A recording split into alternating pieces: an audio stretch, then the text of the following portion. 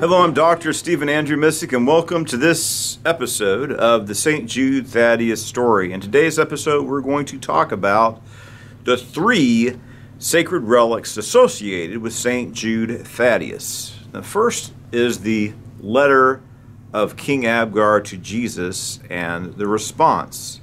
If you're interested in this story, we did a film, my brother Josiah and I did a film uh, called St. Jude Thaddeus and the Legend of the Shroud and we also have the docudrama edition, which I'm trying to put out on these videos. And I have the book, the St. Jude Thaddeus storybook, and the uh, accompanying volume, if you will, uh, is St. Jude Thaddeus and Legend of the Shroud book. So the story is, and this is corroborated by uh, certain scriptures in the Bible, it mentions how that the fame of Jesus spread across all of Syria in the Gospel of Matthew. And so, an Assyrian king named Abgar heard of the miraculous power of Jesus Christ to heal. So he sent a message to Jesus asking for him to come and heal him. According to the legend, the message was received shortly before the Passion. So Jesus sent a response saying that the time had not yet come. Uh, his destiny had to, was to be fulfilled, but he would uh, send a disciple, one of his apostles, to go and pray for this king and heal him and bring life to him and his people. So Eusebius, the father of church history, found records of the correspondence between Jesus and uh, King Abgar and Jesus' verbal response in the city archives of Edessa. And of course, if you're looking at this series on our channel, uh, I have previous episodes where I talk about the story of the legend of King Abgar. So that's the one relic, the relic of the letter of Jesus and his response. Uh, unfortunately, the Muslims invaded and uh, they took over the city of Edessa and uh, the relics that were there are lost. So we don't have a copy of the letter anymore. But uh, Egeria, the pilgrim, riding around the year, year 380, uh, she also saw the letter. So Eusebius, the father of church history, he saw the letter, which was in Aramaic, and he translated uh, for his book, the, the Church History of Eusebius, written around the year 325, 381. Egeria, the pilgrim, uh, she went to Edessa, and she also saw the letter was brought out to her by the Bishop of Edessa. And like I said, there's a previous episode where we, ex we explore that story. Uh, actually, that's uh, Egeria is the first uh, woman who to have written a book that we still have today. And uh, it, that was her experience where she actually went to Edessa. She's writing the first person and saw this uh, sacred relic. The second sacred relic is the holy image of Edessa. And some people associate this with the Shroud of Turin. So in Edessa, they claimed that there was a, uh, a portrait of Jesus. That's how it's originally described, I believe, in um, the Doctrine of Addai.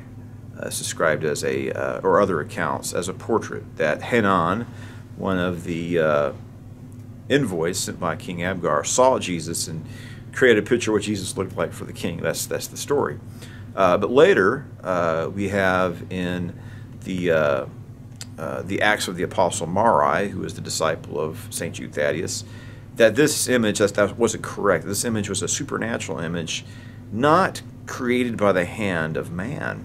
And uh, uh, we had the idea that, that Jesus pressed a cloth against his face and miraculously the image of his face appeared on this on this uh, relic. So some people said, well, it was very actually it's a very um, famous sacred relic in in antiquity, and even to this day, even though the holy image of Edessa has been lost, there are certain replicas that have survived, and some people believe that the image which we call the shroud of, shroud of Turin, that the shroud of Turin is actually uh, the same thing as the holy image of Edessa, and the theory is that when Saint Jude Thaddeus appeared before the king he brought with him a gift, the shroud of Jesus, which he folded, which he gave to him, but it was folded and displayed as a portrait. So that's people who are convinced of the authenticity of the shroud. Uh, it's like, well, if this is the real burial cloth of Jesus, then, then how did it survive? And the theory is that it was discovered in the empty tomb. It's described as in, in the Bible. Uh, the shroud is, and so the idea is that uh, perhaps Saint Jude Thaddeus took it to Edessa, where this famous image of Jesus was displayed for centuries, uh, and then it was smuggled out during the Crusades and eventually made its way to Turin, Italy. That's uh, a theory that people have proposed.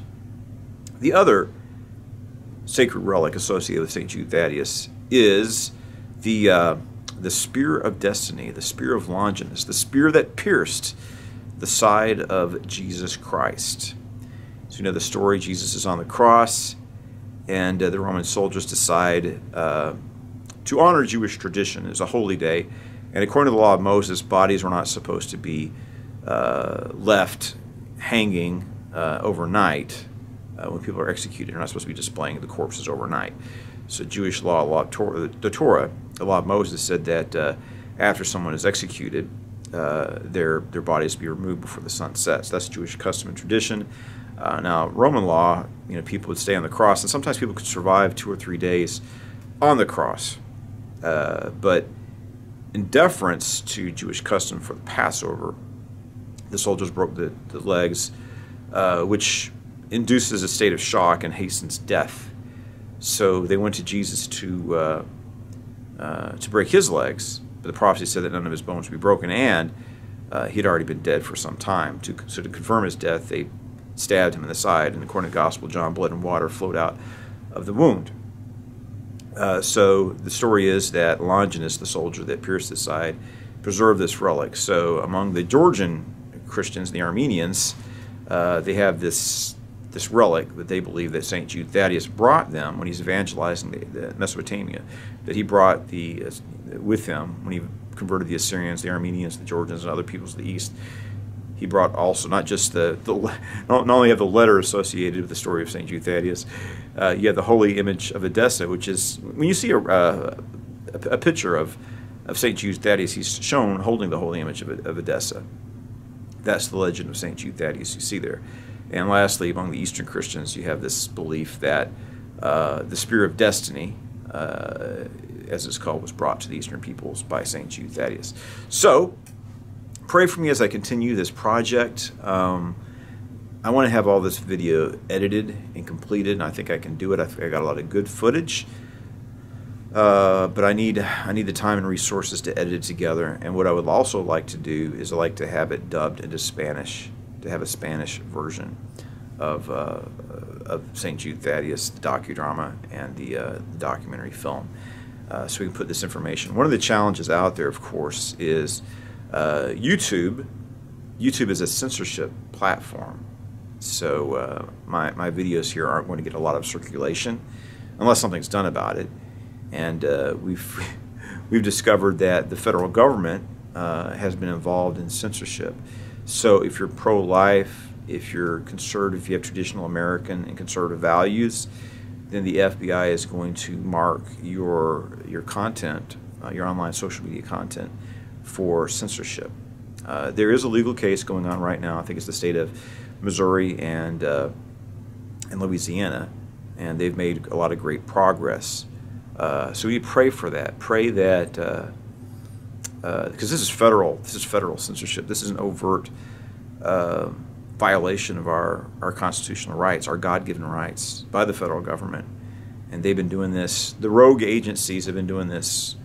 They don't answer. They didn't respect or uh, acknowledge the authority of President Trump. So they, they plus these are these are hardcore leftists. These are atheists and uh, Marxist uh, totalitarian statists. They don't believe in our Constitution. So one of the shocking things that happened is, you know, hopefully soon.